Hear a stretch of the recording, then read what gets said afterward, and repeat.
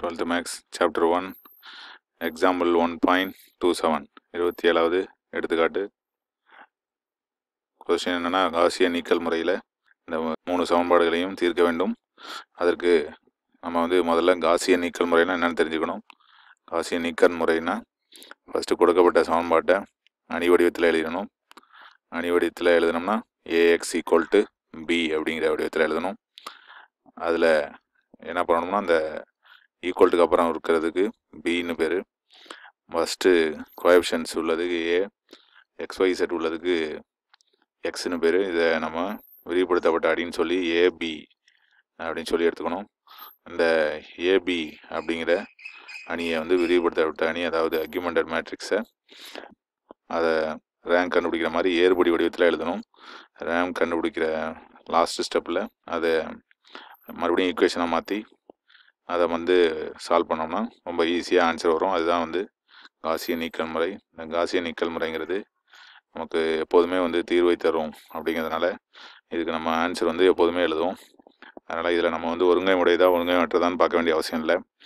அதனால் இப்போதைக்கு ஃபஸ்ட்டு வந்து நம்ம கொடுக்கப்பட்ட சமன்பாடை வந்து என்ன பண்ண போகிறோம் அணி வடிவத்தில் எழுதுகிறோம் அணி வடிவத்தில் எழுதினோம்னா என்ன கிடைக்கும்னா? Four three six one five seven two nine one அப்படின்னு கிடைக்குது. எக்ஸ் ஒய் செட்டுங்கிறது ஈக்குவல்ட்டுக்கு அப்புறம் உள்ளது. டுவெண்ட்டி ஃபைவ் தேர்ட்டீன் ஒன் அப்படின்னு கிடைக்குது. இது A X equal to B இப்போ விரிவுபடுத்தப்பட்ட அணி. அதாவது அக்யூமெண்டட் மேட்ரிக்ஸ் ஏ பி அப்படிங்கிறது என்ன? அப்படின்னு பார்த்தோம்னா ஃபஸ்ட்டு மூணு காலம் வந்து அதே தான் four three six twenty five one five seven thirteen two nine one one அப்படின்னு கிடைக்குது. இதுக்கு தான் நம்ம இப்போ ஏர்படி வடிவத்தில் எழுத போகிறோம் ரேங்க் கண்டுபிடிக்க வேண்டியதில் ஏர்படி வடிவத்துக்கு மாத்திர கடைசி ஸ்டெப் வரைக்கும் எழுத வேண்டியதான் இதுக்கு வந்து நம்ம இம்ப்ளைஸ் போட்டுக்கிறோம். ஈக்குவல் டு போடக்கூடாது. இப்போ ஃபஸ்ட்டு ரோவில் ஃபஸ்ட் எலமெண்ட் வந்து ஒன்றா இருக்கணும். அப்போ என்ன பண்ண போகிறோம்னா R one interchanges to R two R ஒன்னே ஆர் டூவை மாற்றி எழுதிக்கிறோம். இப்போ ஒன் ஃபைவ் செவன் தேர்ட்டீன் அப்போ four three six twenty five ரெண்டாவது ரோவுக்கு வந்துடுது. டூ நைன் ஒன் ஒன் அப்படின்னு கிடைக்குது. இப்போ இதுக்கப்புறம் என்ன பண்ணோம்? First row first entry one ஆகிட்டு இனிமேல் அதை மாற்ற வேண்டிய அவசியம் இல்லை. One five seven thirteen second ரோவில் first எலமெண்ட்டை வந்து ஜீரோ ஆக்கணும். இந்த டூங்கிற இடத்தையும் ஜீரோ ஆக்கணும். அப்போ R two implies R two minus எத்தனை ஆர் ஒன்னா ஃபோர் ஆர் ஒன் ஆர் ஒன்னா ஃபோரால் மல்டிப்ளை பண்ணி ஞாபகம் வச்சுக்கிறோம். ரெண்டையும் மைனஸ் பண்ண போகிறோம் ஆர் ஒன்னை ஃபோரால் மல்டிப்ளை பண்ணிக்கிட்டு மைனஸ் பண்ணோம் இப்போ ஃபஸ்ட்டு ஆர் டூ எழுதிக்கிறோம். R two R டூங்கிறது four three six twenty five four R one அப்படிங்கிறது ஃபோரால் மல்டிப்ளை பண்ணோம்னா four four five sir twenty four seven sir twenty eight four thirteen fifty two அப்படின்னு கிடைக்குது. ரெண்டையும் மைனஸ் பண்ணுறோம் மைனஸ் பண்ணோம்னா கிடைக்குதுன்னா இது ஜீரோ கிடச்சிரும். இதில் மைனஸ் செவன்டீன் இது மைனஸ் டுவெண்ட்டி டூ இது மைனஸ் டுவெண்ட்டி செவன் அப்படின்னு கிடைக்குது.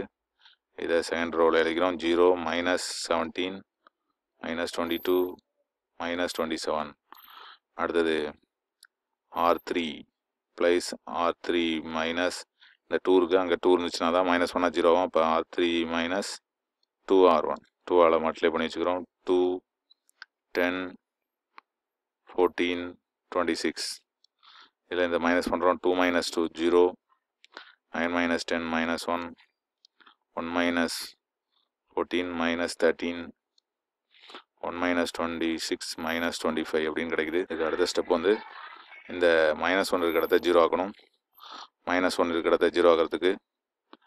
என்ன பண்ண போகிறோம்னா ஆர் டூ ஆர் த்ரீ தான் யூஸ் பண்ணோம் அப்போ ஃபஸ்ட்டு ரெண்டு ரோ வந்து அதே தான். One five seven thirteen zero minus seventeen minus twenty two minus twenty seven இப்போ என்ன ஸ்டெப் பண்ண போகிறோம்னா இந்த இதை வந்து செவன்டீன் இருந்துச்சுன்னா ரெண்டையும் மைனஸ் பண்ணால் ஜீரோ ஆகிடும் அப்போ R three implies seventeen R three minus R two அப்படின்னு கொண்டு வரோம் செவன்டீனால் மல்டிப்ளை பண்ணி ஞாபகம் வச்சுக்கிறோம்.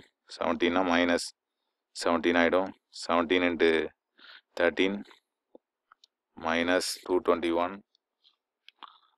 அடுத்தது seventeen into twenty five four twenty five அப்படின்னு கிடைக்குது. இப்போ இதுலேருந்து இதை மைனஸ் பண்ணிடுறோம்.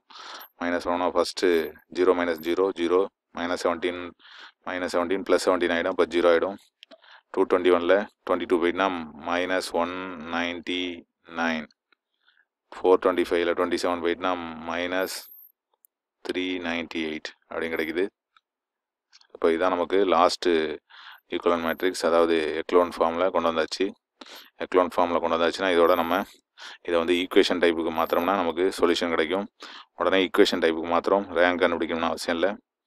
ஈக்குவேஷன் டைப் மாத்திரம்னா என்ன கிடைக்கும்? X plus 5y plus 7z equal to 13 இது